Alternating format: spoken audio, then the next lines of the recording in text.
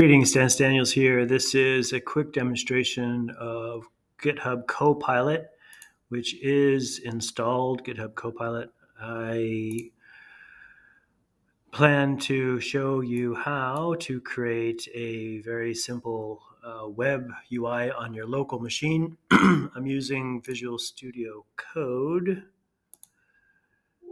Uh, okay, Visual Studio Code. Which one is this? This is 166. So let's get started. First thing you definitely want to make sure you do is save the file. File, save as, and we'll call this um, new, uh, we'll call this local flask page dot py, and there we go. So let's describe what we want. We want a, we want to create a web server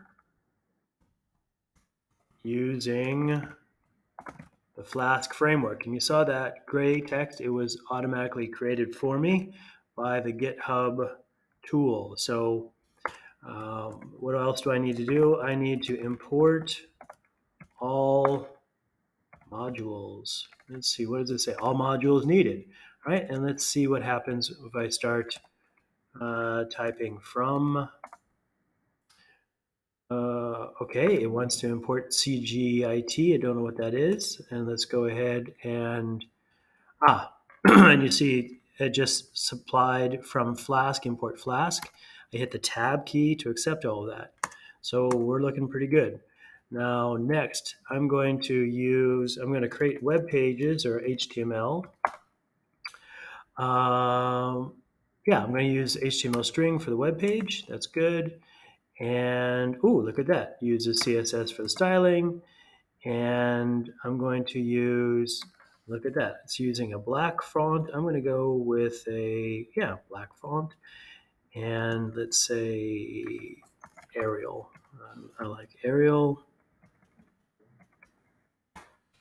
And enter. The background is light blue. We'll go with the background is light gray. And you can see that GitHub is supplying almost all of this automatically. So, uh, and the text is black. That's good. I like all of that. Now, um, uses CSS. We're good with that. And now let's go ahead and create our HTML file. HTML. Okay. Yeah, HTML equals. And there it goes. You see it added the three uh, quotation marks for me. I'm very pleased. And moving on. Now, okay, it goes ahead and adds the doc type for me. I'll accept that. HTML as the top, and it should now supply the head, which it does. And I'm going to go ahead and add those because it's just bothering me. Uh, we'll add the meta charset and just see what it supplies. Style is good. Body is good uh, background color light gray, and you can see I specified that right here. And enter tab font family. It picked up the um, picked up the Arial. I don't know why Arial Times. Maybe that's part of it. I'm not sure. Uh, let's tab, and it's accepted. and font size is large, which I did not specify. I didn't specify that, but that's okay, I guess. And that should do it. So um, I'll go ahead, uh, align center. Did I specify align center? No, I did not. So I'm just going to go ahead and close that off. Now, I need to close off the style. You see that it did that for me. That's great. And now we get into, uh, we need to close the head. Let's see what happens. Yeah, it closed it for me. And now we should start with a body. Very good. hello world. Uh, hello world from a co-pilot AI coding assistant. I'm going to go with that. And what else do we have? Now, um, do I want to add a form at this point? No, I'm just going to go ahead and leave that as it is. And let's go ahead and get the uh, get the the next part of our code ready. And that requires that requires us to uh, we're going to go ahead and create the Flask instance. So create a Flask object, I guess, and app equals Flask name. Very good. We're we're cooking with gas, as they used to say. And our next step is to uh, let's think about this. We need to create a simple endpoint, create a simple web page, I guess. Okay, we'll go with that.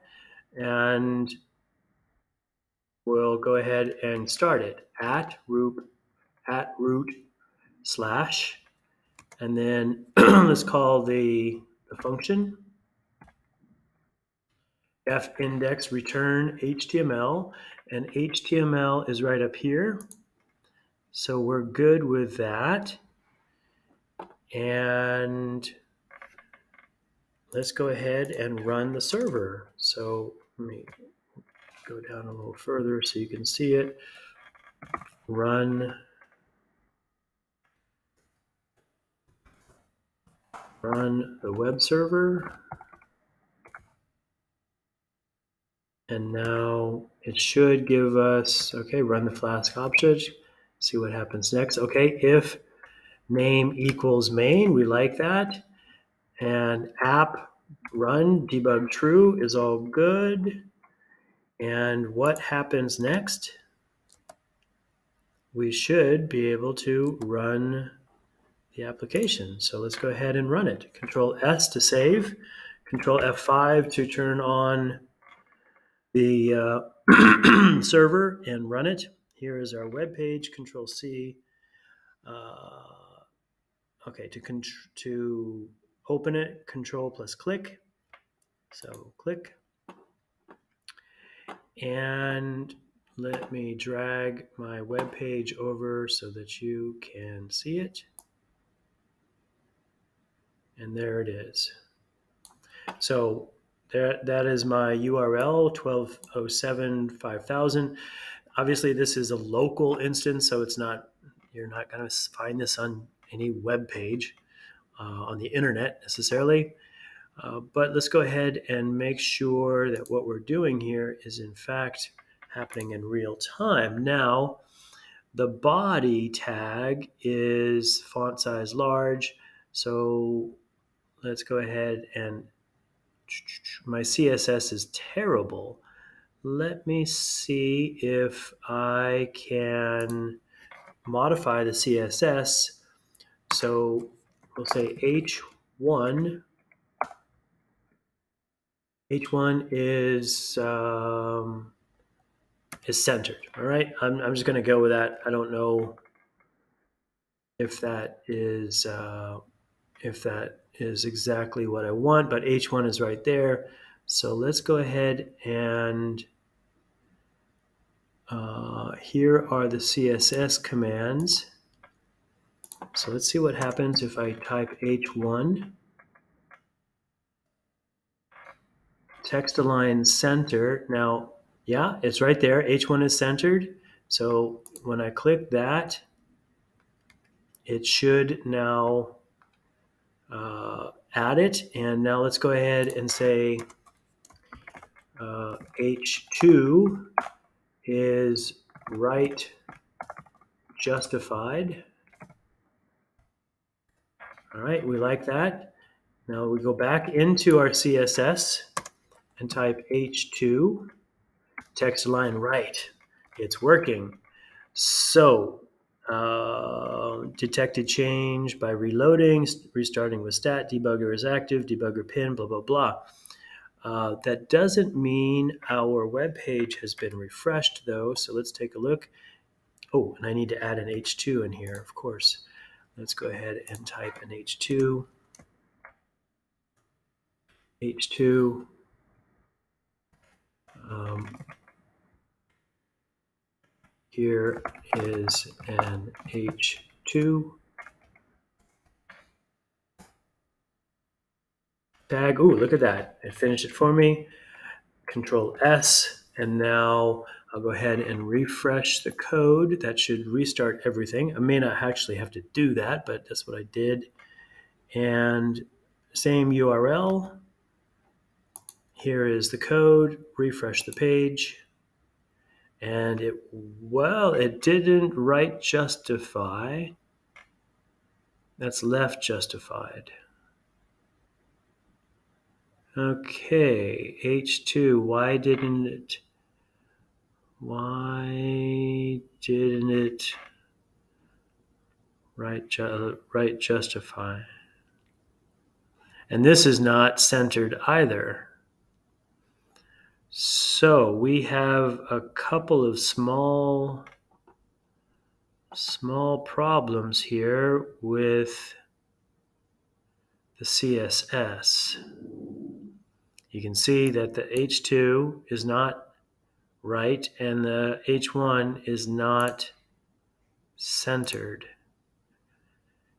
and it's not changing. So I need to go into my CSS and figure out why it doesn't work. But all that being said and done with just what, maybe five minutes, I've created a very basic web page using Flask and GitHub Copilot. So thank you for watching and happy computing.